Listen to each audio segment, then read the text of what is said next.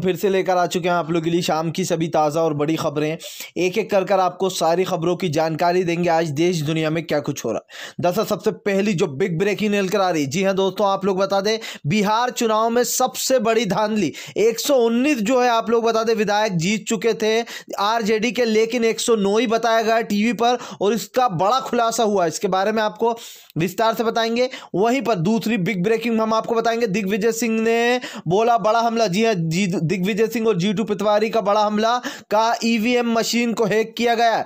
जी हाँ भोपाल में लोकतंत्र का गला घोटा जा रहा है। आज ईवीएम को जो यहाँ पर, जी एम मशीन बना दिया गया है। मोदी वोटिंग मशीन, इसके बारे में आपको विस्तार से बताएँगे।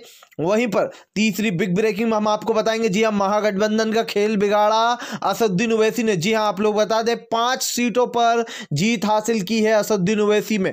इसके बारे में भी आपको विस्तार से बताएँगे।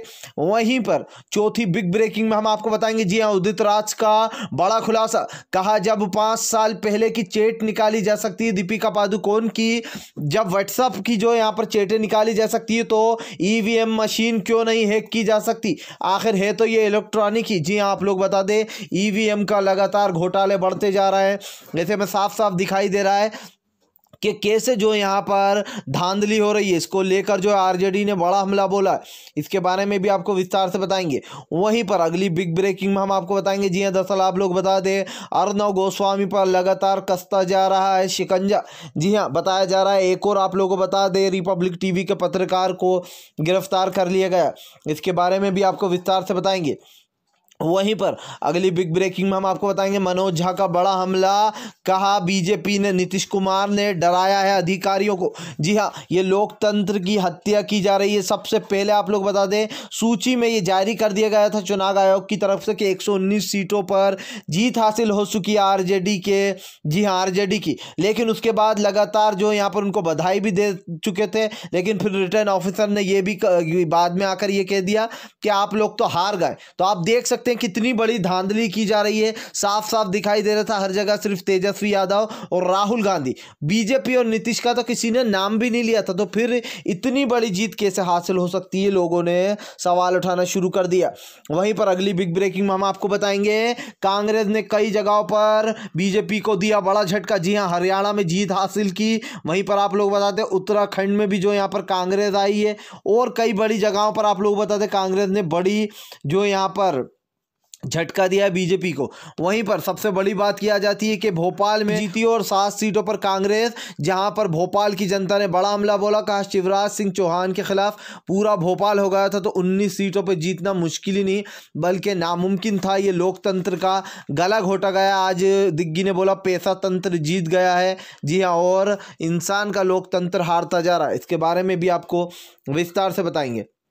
खैर चलिए हम बढ़ते हैं सबसे पहली और सबसे बड़ी खबर की ओर। दरअसल आप लोग बताया सबसे पहली जो बिग ब्रेक ही निकल आ रही है जी हाँ, अभी तक का चुनाव आयोग पर सबसे बड़ा आरोप कहा चुनाव चुनाव आयोग ने बीजेपी ने जो कहा किया है। जी हाँ बीजेपी के कहने पर जो है आप लोग बता दें जिताया गया एनडीए को बनना आप लोगों को बता दें कि आरजेडी सबसे आगे चल रही थी ऐसे में तेजस्वी यादव का तेज देखकर बुरी तरीके से बीजेपी के लोग बिल बिला रहे थे और ऐसे में यही कारण था जिसकी वजह वो नीतीश कुमार से कई बीजेपी नेता मिलने पहुँचे, चाहे वो जेपी नड्डा हो या फिर कोई और।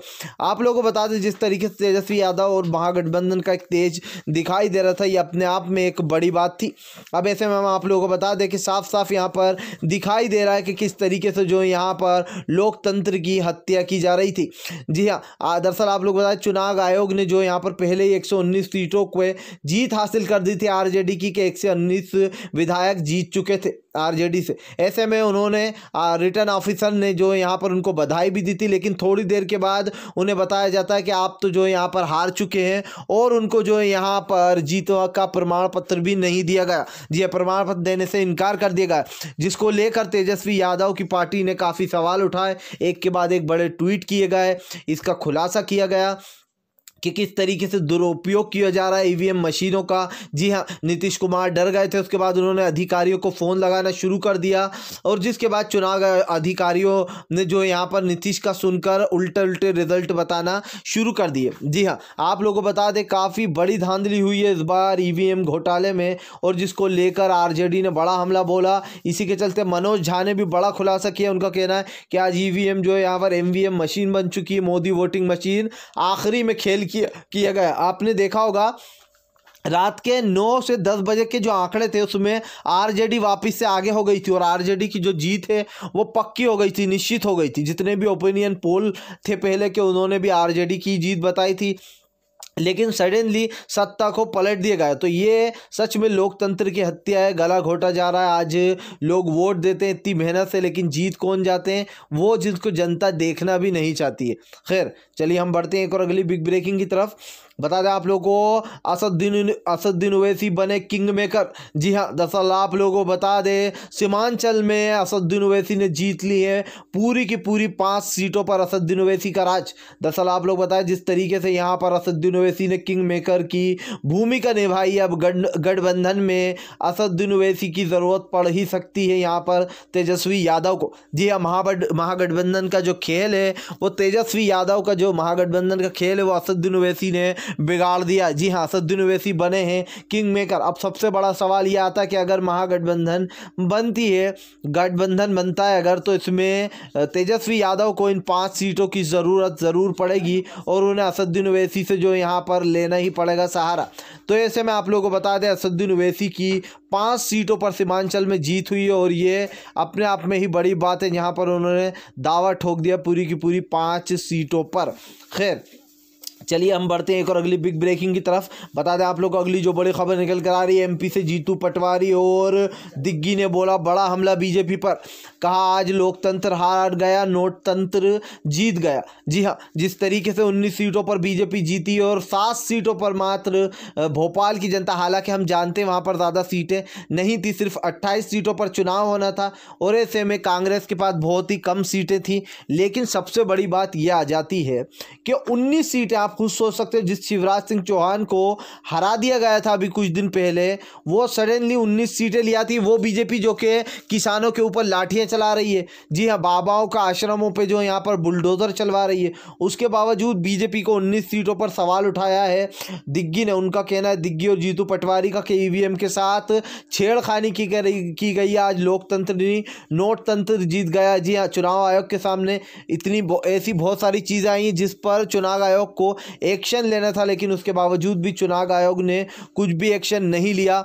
और 19 सीटों पर सवाल उठाते हुए दिग्गी ने कहा कि जिस जनता ने बी कांग्रेस को चुना था, उस कांग्रेस की सरकार को गिराने के बाद जो यहाँ पर नोटों का सहारा लेकर आप लोग बताते, सिंधिया जैसे लोगों ने इस सरकार को गिराया था।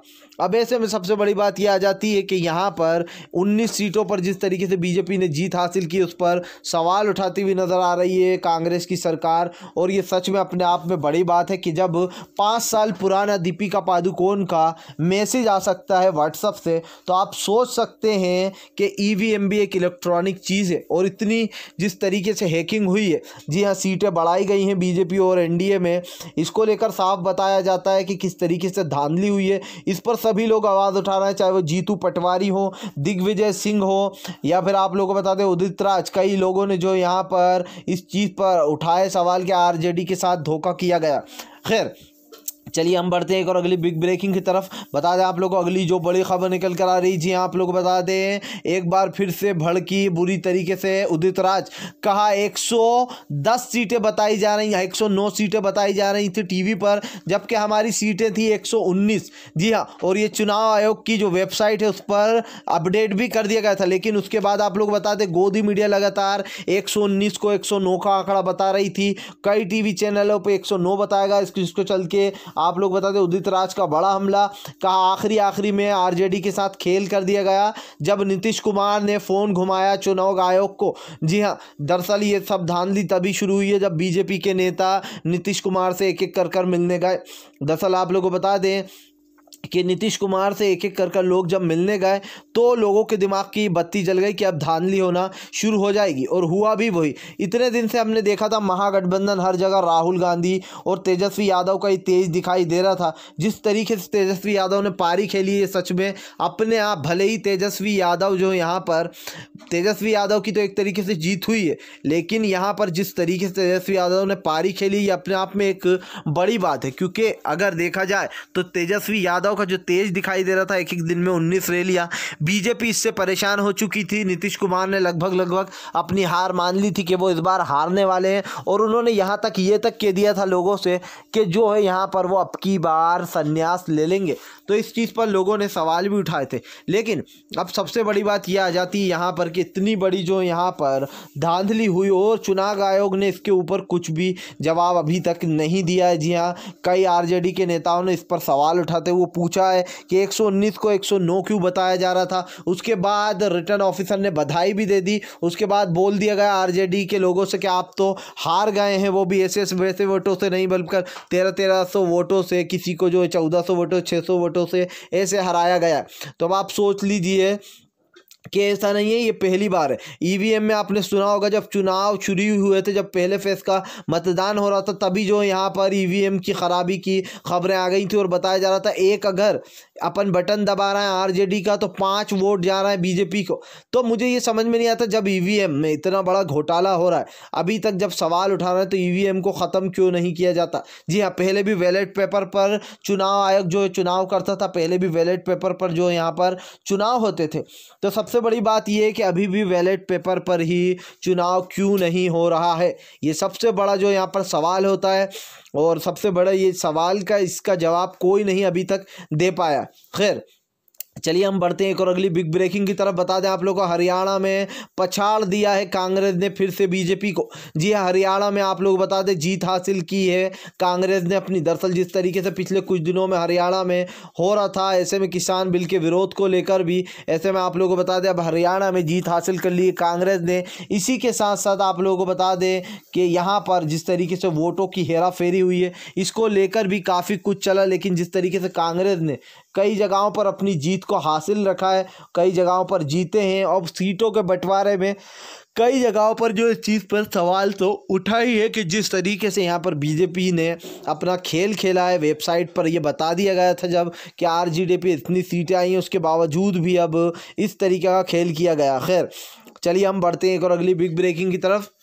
बता दें आप लोगों को अगली जो बड़ी खबर निकल कर आ रही है, भयंकर विरोध चल रहा है। जी हाँ नीतीश के घर का रात को घेराव किया गया था। दरअसल आप लोग बताएँ, जिस तरीके से धांधली की गई बिहार चुनाव में, इसको लेकर लोगों का गुस्सा फूट पड़ा और नीतीश कुमार के घर का घेराव कर लिया गया था। जी हाँ जिस तरीके से लोकतंत्र का गला घोटा गया, ईवीएम द्वारा चुनाव जीते जा रहे हैं, लगातार जो है बीजेपी का डर धीरे धीरे ख़त्म हो रहा जा रहा है हार हार का डर ख़त्म होता जा रहा है, क्योंकि यहाँ पर ईवीएम जो यहाँ पर अब एमवीएम बन चुकी है, जैसे कि राहुल गांधी ने कहा था। लेकिन राहुल गांधी ने यह भी कहा था कि ईवीएम से बड़ी जनता होती है। लेकिन सबसे बड़ी बात यह कि आखिर जनता बेचारी देती किसी और को वोट है, चला जाता है किसी और को वोट। और ये ऐसा पहली बार नहीं हुआ कि ये खबरें आई हैं, ऐसी कई बार खबरें आई हैं। अब देश की जो जनता है, मुझे लगता है वोट देना ही बंद कर दे कर देगी एक दिन। क्योंकि जब वोट की जब जनता को ऐसा लगेगा कि भाई हम जिसको वोट दे रहे हैं, वो तो जीत ही नहीं रहा है। और जो यहाँ पर दुरुपयोग किया जा रहा है। वोटों का ऐसे में एक समय ऐसा आया था जब लोगों ने जागरूक होना छोड़ दिया था, वोट देना ही बंद कर दिया था। जी हाँ अगर ऐसा ही सब होना है तो फिर इंसान को वोट देना ही बंद करना होगा और फिर भैया कर लो आपस में ही जिस तरीके से आप जीत सकते हो, क्योंकि यहाँ तो धांधलीबाजी का खेल चल रहा है। एक के बाद एक बड़ी धांधलियाँ हो रही हैं, वेबसाइट पर यह जारी किया जा रहा है कि आरजेडी के एक सौ उन्नीस लोग जीत चुके हैं। फिर बोला जा रहा है कि आप लोग हार चुके हैं, आपको जो यहाँ पर प्रमाण पत्र नहीं मिलेगा। तो इन चीज़ों पर लगभग सभी ने सवाल उठाए बेसिकली यहाँ पर इन चीज़ों का मतलब सीड यही है कि देश में हिंदू मुसलमान फैलता जा रहा है और देश को बचाना बहुत ज़्यादा ज़रूरी। जैसे कि आपने देखा होगा कि अमेरिका में कितनी बढ़िया जीत हासिल की है।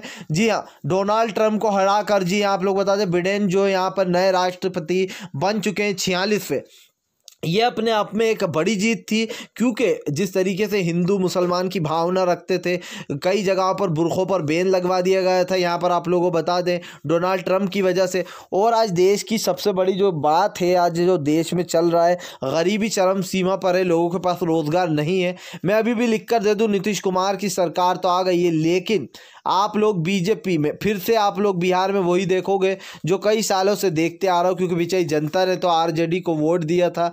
कई लोगों ने जो है पूरा पूरा समर्थन दिया, गठबंधन, महागठबंधन को, लेकिन उसके बावजूद भी जब इस तरीके से धांधली होने लगेगी तो फिर बेचारे वोट भी क्या करेंगे? जी हाँ जो वोटर हैं, वो भी उदास हो जाते हैं कि हमने इतनी मेहनत करी और जिसको लाने की कोशिश करी, उसी को लोकतंत्र का गला घोटा जा रहा है। ऐसे में सबको ही जो यहाँ पर संकल्प लेना पड़ेगा कि आने वाले समय में जो यहाँ पर किसी भी तरीके से सरकार जब भी चुने इंसान और इस चीज़ों का जो भी धांधली हो रही है, इसके लिए आवाज़ उठाना चाहिए और शांतिपूर्ण ढंग से उठाना चाहिए। खैर, अगर आप भी शांतिपूर्ण ढंग से पीएम की इन सभी गलत नीतियों का दिल से विरोध करते हो तो इस वीडियो को दिल से लाइक करके, हमारे चैनल को सब्सक्राइब करके अपना समर्थन ज़रूर दर्ज कराएँ, क्योंकि हम एक ऐसे निष्पक्ष पत्रकार हैं, जो कि आप तक सिर्फ़ सच और सच पहुँचाने की कोशिश करते हैं। तो हम मिलेंगे आपसे नेक्स्ट वीडियो में, तब तक के लिए बंदे मातरम, जय हिंद।